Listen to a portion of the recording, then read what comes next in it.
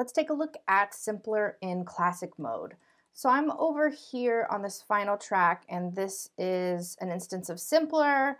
I have just dropped a sample right in here and I have this on classic mode. So I'm going to open this up so you can see things a little bit clearer. Zoom in. So I have set the start and stop markers to just a very specific part of this file. I have the track armed as well, so I'll just quickly play some stuff. So this file is currently being warped, which means that, again, pitch and time will be divorced. So as I uh, play different pitches, the time will be the same. If I take this off of warp here, playing a high note, I'll go even higher. I'll play a very low note. You can see how long it's taking that file to play back. So having things on warp is very different than having them off of warp. And then you can again choose very specific warping algorithms depending on the type of file that you have, and then you still do have these sort of creative parameters within to within which to carve the sound out. So as it is, it's just basically playing back this clavinet-esque sound.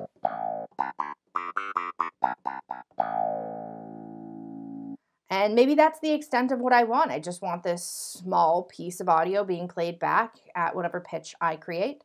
Uh, but let's take this even further and see what there is to see here. I can put this on loop. I'm going to shorten it so that we can quickly go through the sample. You can see it's just going to immediately loop for me here. I could change where this is starting.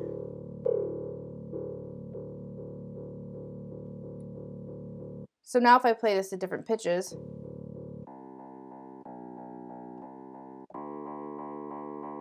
it's a very different instrument than what I started with. I can do more to it.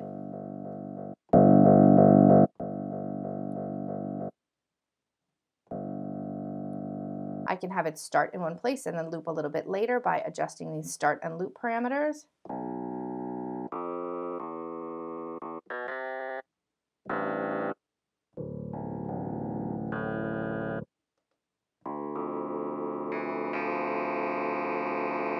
Actually pretty interesting. I'm going to open this up a little bit.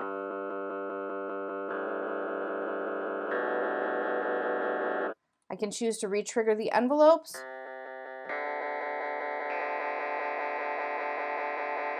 You can hear that they're all sort of in sync in that respect.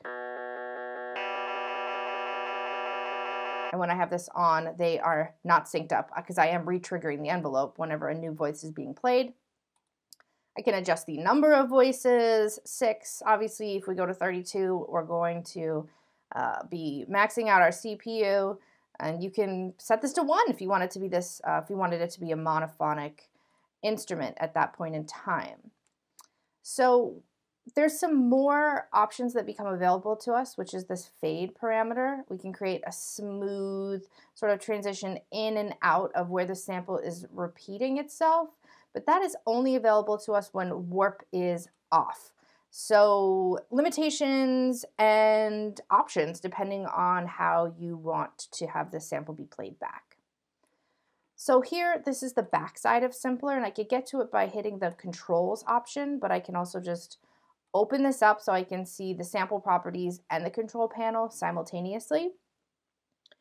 So Simpler is very powerful and also kind of a gateway into sound design if you haven't gone down that rabbit hole quite yet.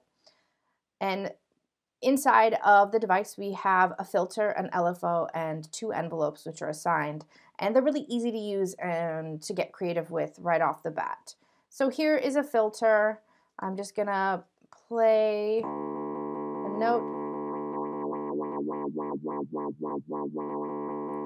Turn this all the way down to begin with.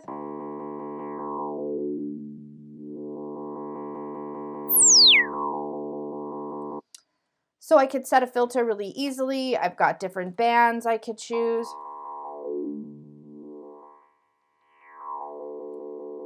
High pass, low pass, notch, band pass, so on and so forth. I can swap these out for different emulations of hardware filters or just go with the digital clean one here. You can see that when I uh, choose one of the hardware emulations, I also have this drive knob where I can uh, distort things here, add some more gain as well. Moving over to the LFO here, I have some attack settings and offset settings depending on how I want this LFO to react. And if you haven't gotten deeply into synthesis or the basic mechanics behind synthesis, uh, an LFO is a control signal, which is going to allow me to use characteristics of that signal, such as frequency, or it's, it's like a pendulum swinging, if you will, and assign those to other parameters on this device. So for instance, I'm going to choose filter. I'll pull this all the way up. And right now I have it set to an eighth note. I can I can set it to a specific frequency itself. You can hear that filter opening and closing now, so you can't visually see this, but it's doing something like this. Or I could set it to a BPM. So if I play this very low, I'm getting something which is very much like a wobble bass. Uh, so I can do this with pitch. I can do this with volume. Turn this down so it's a little bit easier to hear. Tremolo effect, I can do this with pan. So for destinations for this LFO, right off the bat, um, I can have it kind of come in a bit slower if I want to by changing this attack setting here. I could change the shape of the wave. Most um, wobble basses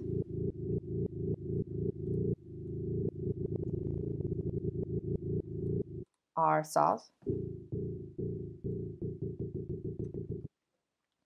Over here on the envelope settings, I have an amp envelope and a pitch envelope.